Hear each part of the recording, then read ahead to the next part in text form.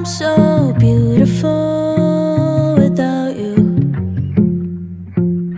Now my skin glows and it shines like glue. I'm pretty without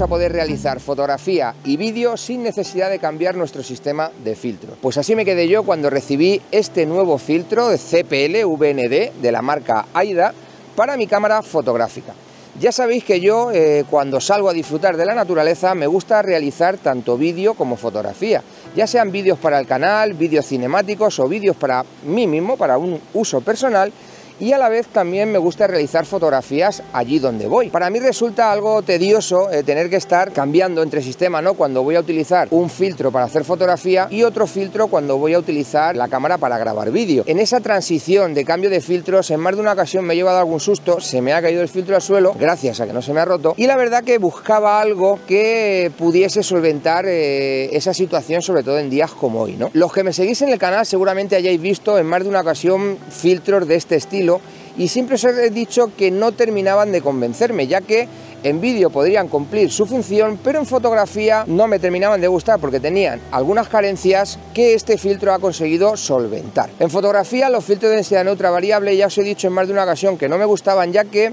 generaban unos viñeteos extraños y además eh, la falta de tener unos topes en, eh, en algunos filtros, tanto por un extremo como por otro, hacen que cuando te pasabas un poquito y no te dabas cuenta, podía generarse esa famosa X que vemos en muchos filtros de este estilo. En esta ocasión eh, ese pequeño problema se solventa, ya que en este filtro, como veis, tenemos la rueda roja, que es la que nos va a polarizar la luz, y luego además tenemos esta palanquita que lo que nos va a hacer es ir eh, alternando entre los diferentes pasos de densidad neutra. Como estáis viendo en pantalla ya tenemos el encuadre elegido y una vez que colocamos nuestro filtro, vais a ver que con esta rueda roja, fijaros en la imagen, cómo vamos a eliminar todos los reflejos que hay en el agua polarizando la luz con el CPL que viene ya integrado en el filtro. Fijaros la diferencia entre no polarizar la luz, fijaros todos los reflejos en el saltito de agua y fijaros una vez polarizada cómo eliminamos todos esos reflejos. Una vez que tenemos ajustado el polarizador con esta palanquita que tenemos aquí, lo que vamos es a elegir eh, la densidad o los pasos eh, de luz que vamos a restar en nuestra toma. ¿Vale? Como veis, girando la rueda, fijaros cómo se nos oscurece la imagen o se nos aclara, como os digo, dependiendo del de, eh, grado de densidad neutra que vamos a elegir para esta toma. Otros filtros también tienen este sistema, pero no en este rango de densidad neutra. En más de una ocasión os he contado que los filtros que yo más recomiendo son los de 3 y los de 6 pasos, ya que el de 10 pasos me parece quizá demasiada reducción de luz y quitando algunas ocasiones en las que tengamos eh, fotografía, por ejemplo, en la costa, donde queramos conseguir esa niebla en el agua, ¿no? Con el efecto seda, el de 10 pasos le vamos a utilizar muy poco y los que yo más utilizo son los de 3 y de 6 pasos. En esta ocasión tenemos un filtro que va desde los 3 a los 7 pasos, un rango ideal tanto para fotografía como para vídeo. Por eso este filtro de AIDA me ha parecido tan interesante, ya que punto 1 tenemos ese rango de densidad neutra y punto 2 nos han metido estos topes para que no se nos pasen tanto por el extremo inferior como por el extremo superior.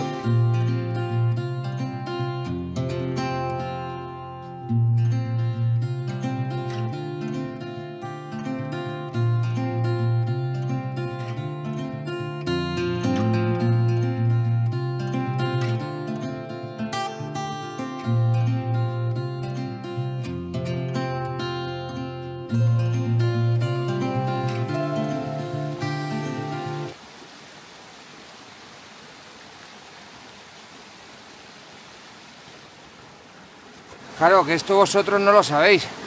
Yo vengo solo y cada vez que veis un plano de estos Efectivamente me toca volver a por la cámara.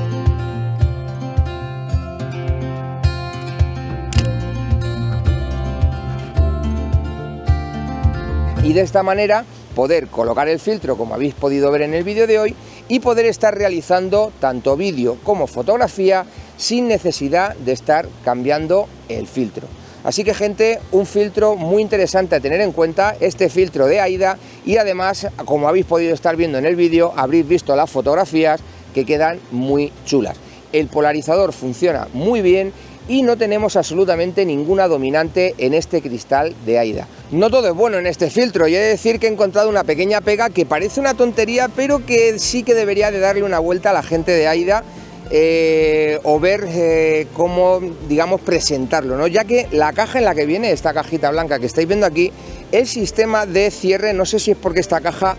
eh, me ha venido rota o, o es así, pero se abre súper difícil. Además, tiene muy poca superficie para agarrarlo, el filtro no termina de, estar encajado, le, tienes aquí bien protegido con la caja, pero sí que en esta mañana, la primera vez que he ido a cogerle, eh, me ha costado abrirlo, además hace bastante frío, en la época que estamos ya aquí en plena sierra, esta mañana estamos a 2 grados de temperatura, y cuando he ido a abrir la caja me ha costado, tenía las manos frías y no es una caja fácil de abrir, además podemos tener el inconveniente de que al abrirla pues se nos pueda caer ya que el filtro aquí no está encajado, así que gente de AIDA buscaría un sistema un poquito quizá más fácil de abrir, de transportar, ya que la caja está muy bien, es sencilla, es cómoda, es ligera, no, ocupa nada el filtro, pero a la hora de abrirlo sí que podemos tener un percance y que se nos caiga. Así que gente, tener cuidadito si os viene así la caja, como os digo, eh, porque yo esta mañana me ha costado abrirla. Pero bueno, una pega tonta, una pega que bueno, eh, se puede solventar porque además eh, tengo yo bolsas para llevar filtros, con lo cual esta eh, no la dejaré, no lo llevaré aquí el filtro. Cuando vaya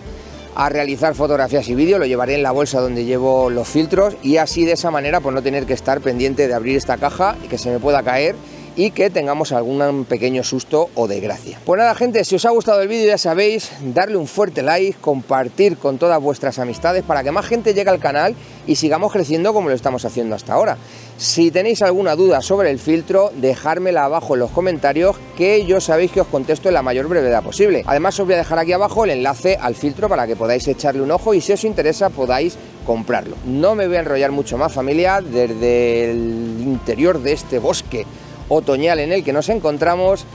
Sed buenos, disfrutar de la semana y nos vemos en el siguiente vídeo.